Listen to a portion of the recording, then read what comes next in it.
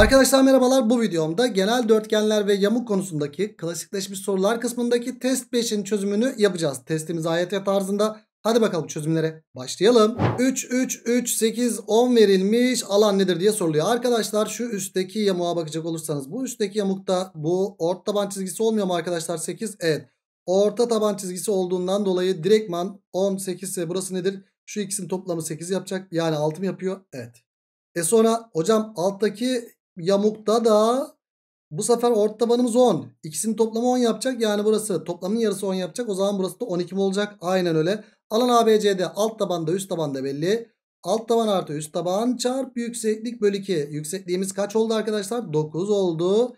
Çarp yükseklik bölü 2 dersek bu da kaç yapıyor? 18 bölü 2 9. 9 ile 9'u çarptı da 81 yaptı. Birinci soru Edremit oldu. Geldik 2'ye.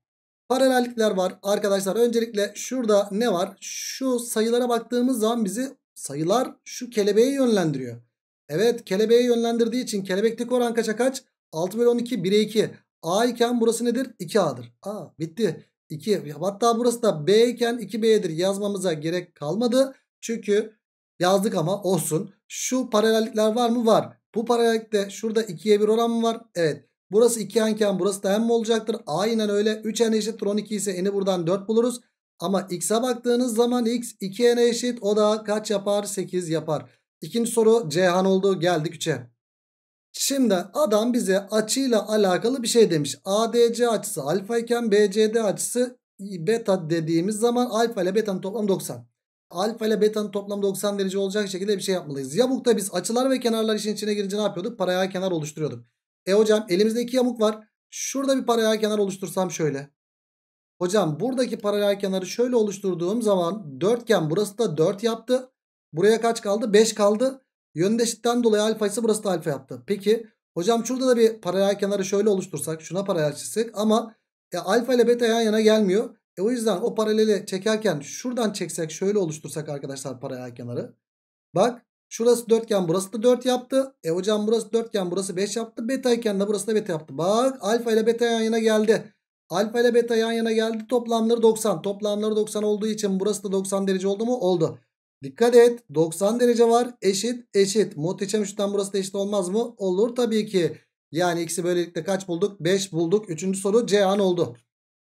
Geldik 4'e. Şekil 1'de ön görünümü dikdörtgen biçiminde olan bir masa üzerine çiçek konulduğunda şekil 2'deki gibi ayakları esneyerek köşegenleri dik kesen yamuk görünüm almaktadır. Hatta x kenar yamuk görünümü aldı bu. Şunlar eşit ya ondan dolayı. Hocam burası 70 iken hala daha burası 70 olmaya devam ediyor mu? Devam ediyor tabii ki 70 burası. Hocam bu x kenar yamuk olduğu için köşegenler birbirine eşit. Kendi çapında ayırdıkları yerlerde birbirine eşit değil mi? Evet. Aa burada x kenar dik üçgen çıktı. Hocam bunlar 45 45 90 üçgeni. Hatta burası da 90 derece olduğundan burası da 45 45 90 üçgeni. Ee, burası 70 ise arkadaşlar 70 bölü kök 2'den yani yarısının kök katı 35 kök 2 yapar burası. Hocam burası da 35 kök 2 yaptı. Eyvah eyvah. Sıkıntı. Ee, burası ne yaptı arkadaşlar? 170'in yarısı 170'in yarısı da kaç yapıyor? Yani 170 bölü kök 2. Yani 170 bölü kök 2 de kök 2 eşleniyle çarparsan 170 kök 2 bölü 2. Yani 85 kök 2 mi yapıyor? Evet. Burası da 85 kök 2 85 kök 2 yapıyor arkadaşlar.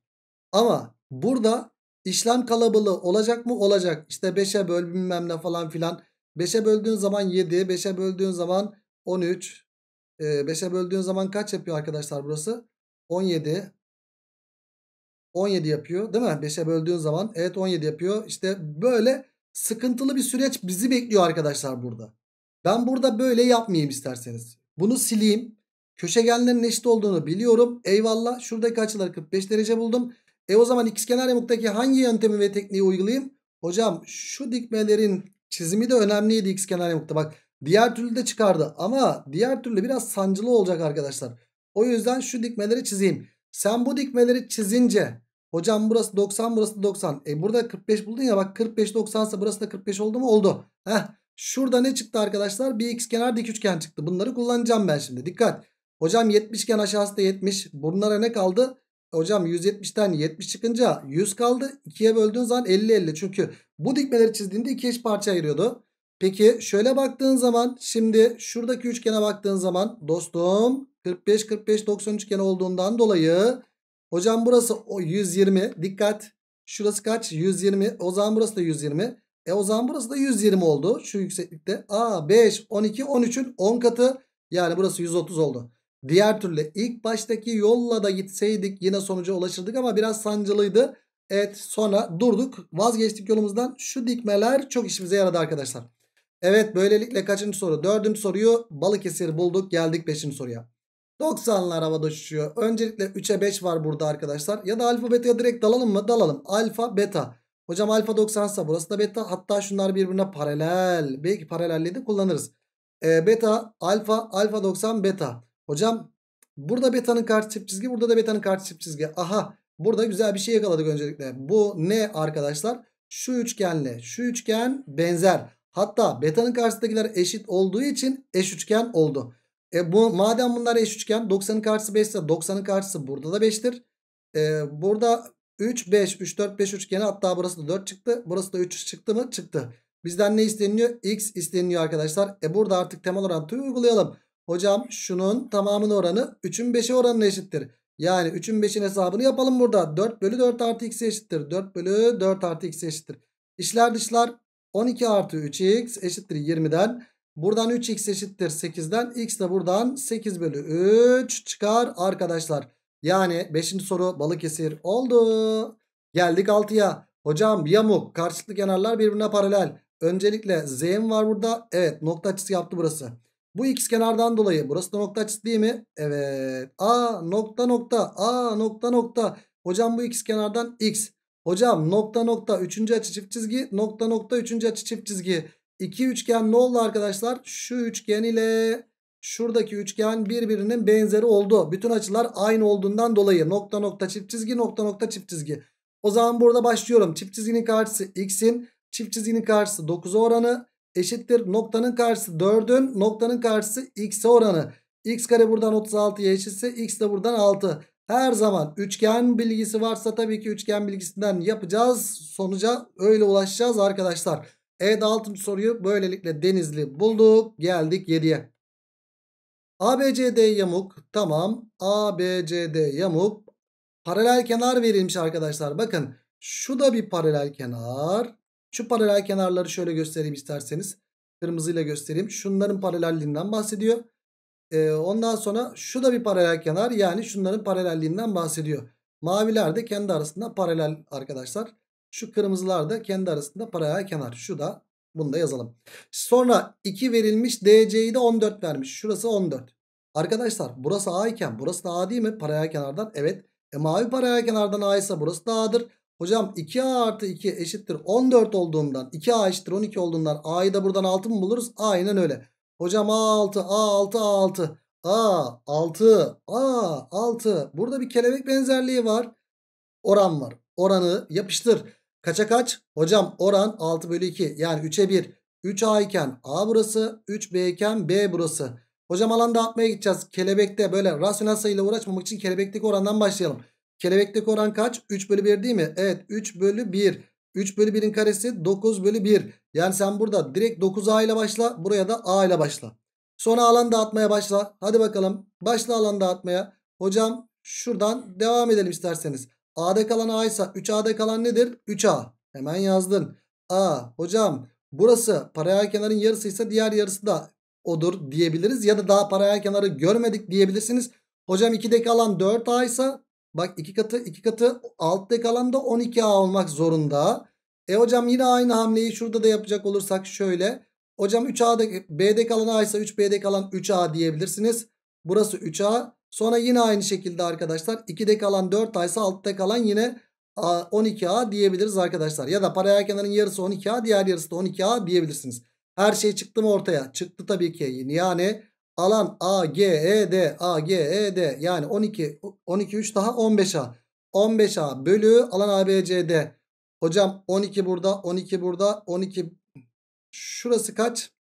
Dur öncelikle şu paralel kenar 24 24 12 daha 36 4 daha 40. Evet 15 bölü 40 yaptı arkadaşlar. 5'e bölsen 3 5'e bölsen 8 yani cevabımız 5 bölü 8 ya 3 bölü 8 yaptı arkadaşlar. 7. soru Edremit oldu. Geldik 8'e. Valla 90'lar havada uçuşuyor. Alfabeteye dalacağız. Ama öncelikle bence şunu bulmalıyız arkadaşlar. Şuradan dik çizerek bulabiliriz aslında ama şekil böyle karışacak gibi duruyor burada. Ama karışmıyor. Çizdik diki. Dik yamukta her zaman ne yapıyorduk? Şuradan diki çiziyorduk. Çizdik diki. Hocam burası 6 ise 6 burası 8 ise 8. Hocam 6 iken burası da 6 mı? Evet. Aa 6'ya 6. Şurası da dik ya. Şunlar da birbirine paralel. Direkt orta taban çıktı mı burada? Çıktı. Dörtgen. Burası nedir? 2. Yani senin kafanın kafanın içinde her zaman bu üçgen bilgileri varsa sorular çok rahat bir şekilde akar. Sadece yamuk ya da işte e, dörtgen bilgileriyle olacak diye bir şey yok. Hocam bunun tamamı 8'di. Çünkü şöyle bunun tamamı 8'di. Buraya kaç kaldı? 6 kaldı. Hocam burası da 6, 8, 10. Bunun tamamı 10. Bunun tamamı 10. Ve burada oran bulmam lazım. X'i bulmam lazım. Arkadaşım şuraya baktığınız zaman ne fark ediyorsunuz? Bir kelebek benzerliği var mı? Var. Kelebekteki oran 6 bölü 4 yani 3 bölü 2. Yani burası 3K iken burası 2K. Toplamda 5K eşittir 10 iken K'yı 2 buluruz. Bizden X 3K isteniyor. O da 6'ya eşittir. Yani cevabımız böylelikle Balıkesir çıktı arkadaşlar. 8. sorunun cevabı. Geldik 9'a. Kenar uzunlukları 3 cm ve 8 cm olan 3 dikdörtgen KLMN ikizkenar yamuğun içerisinde şekildeki gibi yerleştirilmiştir. Evet bu bir ikizkenar yamukmuş arkadaşlar. 3'e 8 olduğunu biliyoruz arkadaşlar. Şunlara bir 3 3 yazalım mı? Yazalım. İkizkenar yamuk ya. Arkadaşlar bu ikizkenar yamuk olduğundan dolayı şimdi sen buraya bir alfa yazarsan burası da alfa mıdır? Evet alfa. Hatta yöndeşlikten burası da alfa, burası da alfa. Hocam bu da bir ikizkenar yamuk oldu. Hatta bu tam orta taban oldu arkadaşlar. Çünkü şunun devamını getirsen hani ikizkenar yamukta şu dikmeleri çiziyorduk ya. Şu dikmelerin devamını getirsen buradan da dikmeleri çizmiş oluruz. Ayrıtları yerlerde birbirine eşit olacak aynı zamanda. Hocam e, burası üçgen burası da 3 ya. Tam orta nokta oldu burası. Şunlar birbirine eşit oldu. E yan taraflar da birbirine eşit oldu. A şurası da bir ayrıyetten ikizkenar yamuk oldu. İkizkenar yamukta şu çizilen dikmeler eşit olmuyor muydu ayrıtları yaylar? Şunlar eşit oluyordu. Hocam burası 8 birim burası da 8 birim 16. Hocam burası da 8 olduğuna göre geri kalan iki parçaya 8 kaldı. E, bunlar da kaç oldu? 4 birim 4 birim yaptı. He, 3 4 5 üçgeni burası da aynı şekilde 5. O zaman burası da 4 oldu. Aynı şekilde 4 4 3 4 5'ten 5 birim 5 birim oldu. Çevre KLMN isteniyor arkadaşlar bizden. Her şey çıktı meydana çıktı. Hocam burası 10 burası 10. Şunlar da 4 4 olduğuna göre her şey çıktı arkadaşlar. Burası 8, 8, 16. Çevre KLMN'yi yazabiliriz. Alt taraf 16, 20, 24. 24 artı üst taraf 8 artı 2 tane de yan taraflarda 10 var. 10 ve 10 ve 10 ve 10 var.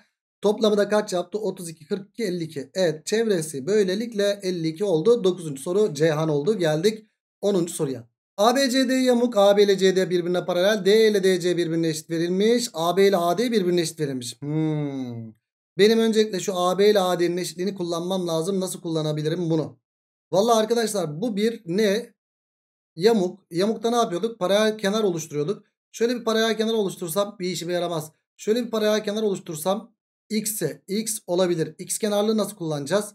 Ama öncelikle buradan yapmayayım. Buradan da çıkacak gibi ha. Söyleyeyim onu da söyleyeyim. Buradan da çıkacak gibi. Ben öncelikle şu x kenarlığı şöyle kullanma taraftarıyım. İki yoldan çözeceğim arkadaşlar. Öncelikle şuna bakalım.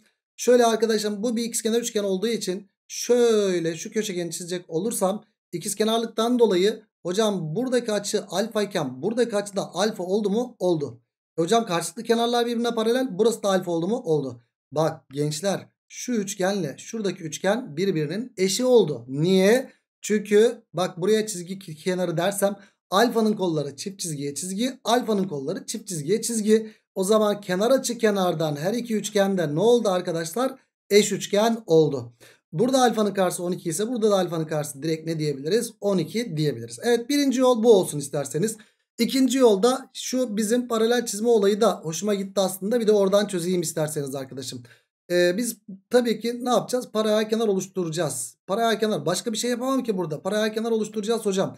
Şu paralel kenar oluştursam. Ama benim şuradaki eşitliği kullanmam lazım. Paralel kenar oluşturdum dikkat edin ama. Burası x iken burası x. Burası çift çizgi iken burası da çift çizgi oldu mu? Oldu. Şimdi ben burada nasıl bir şey yapabilirim? Şu x kenarlığı nasıl kullanabilirim? E hocam şunu çizecek olursam bir x kenar üçgen oluştu. Ee, burada da x kenarda arkadaşlar. Hani biz x kenarda şey diyorduk ya. Vallahi ilk çözdüğüm yol daha mantıklı arkadaşlar. İkizkenarda hani eş e, eşit kenarlara ait çizilen yükseklikler neydi? Birbirine eşitti. Kendi çapında ayırdıkları yerler falan filan da birbirine eşit değil mi arkadaşlar? Şunlar da birbirine eşitti. Şunlar da birbirine eşitti. Öyle diyorduk. E burada ikizkenar üçgende şu çizilen çift çizgilik yer ayrılmışsa bu çizilen de çift çizgilik yer, yer ayrılmışsa o zaman o çizgilerde 12 birim 12 birim yapar diyebiliriz arkadaşlar. Ama bence bu çözüm biraz ezbere kaçıyor. Yani biz ikizkenarda açıortay kenar ortay için böyle bir özellikler söyledik ama e, açıortay kenar ortay ve yükseklik için öyle bir çözüm söyledik ama e, bu rastgele çizilen çizgiler için bir şey söylemedik. Onu da fark etmeniz ispat zaten eş üçgenden geliyor. Bence bu yol direkt sizi en çok tatmin edecek yoldur arkadaşlar. Cevabımız 12 oldu. Sadece bunu düşünün arkadaşlar. İkizkenar alfa z'den dolayı alfa. Alfanın kolları çift çizgiye çizgi. Alfanın kolları çift çizgiye çizgi düşünüp e, eş üçgenlikten alfanın karşısı 12 ise burada da, buradaki alfanın karşısında 12 olduğunu düşünmeniz en mantıklısı. 10. soru denizli oldu geldik. 11. soruya kısa tabanı CD olan ABCD ikizkenar yamuğunun hemen ABCD ikizkenar yamuğunu çiziyorum arkadaşlar. Şöyle. Bak dikkat ettiniz mi hiç? Hep böyle sol alttan başlıyoruz biz. A, B, C, D. Siz de öyle başlayın arkadaşlar. Kısa tabanı da CD olmuş oldu. Evet. ABCD kısa tabanı CD olan ABCD ikizkenar yamuğu için yani bu ikizkenar yamuk arkadaşlar. Şunlar birbirine eşit. CE yüksekliği üzerinde alınan ikizkenar yamuğunda yamuğunun CE yüksekliği üzerinde alınan F noktası için bak bir tane CE yüksekliğini çizelim arkadaşlar. CE e, CE yüksekliği üzerinde alınan bir F noktası için FE ile EB birbirine eşitmiş. Bir dakika. CE yüksekliği üzerinde alınan bir F noktası için şu için FE ile FB birbirine eşitmiş. Hop şöyle. CD uzunluğunu kaç vermiş? 7. Hocam kısa taban 7. AF uzunluğu AF uzunluğunda hop şuradaki uzunluk da AF uzunluğu. Bunu kaç vermiş? 13 vermiş. Bizden ne isteniyor? AE uzunluğu nedir diye soruluyor arkadaşlar bize. E arkadaşlar bu bir ikizkenar yamuk mu? Evet ikizkenar yamuk. İkizkenar yamukta ne yapıyorduk? Dikmeler bizim için önemli. Hop şu dikmeyi de çizelim arkadaşım. Çizdiğin zaman bu dikmelerin ayıtları yerler birbirine eşit olacak. Hocam A iken burası da A. Aa burası da A. E 7 iken burası da 7. Aha da burada bir dik üçgen çıktı mı çıktı. E hisset bakayım. Normalde hissedemezsen ne yapacaksın? 13'ün karesi eşittir. A'nın karesi artı A artı 7'nin karesi diyeceksin değil mi? Evet A'nın karesi artı A artı 7'nin karesi diyeceksin. E burada arkadaşlar işlem işlem işlemle A'yı bulacaksın. A kaç çıkıyor? 5 koyarsan 5, 12, 13 tutuyor mu gençler? Tutuyor tabii ki. 5, 12, 13. A buradan 5 geldi. Bizden AE uzunluğu isteniyor. AE uzunluğu da 7, 5 daha 12 değil mi? Evet. Cevabımız böylelikle 11. soruda 12. Yani Balıkesir çıktı. Ve test 5'i de bitirmiş bulunuyoruz. O zaman ne diyoruz? Bir sonraki videoda test 6'nın çözümünde görüşmek dileğiyle. Kendinize iyi bakın. Hoşçakalın.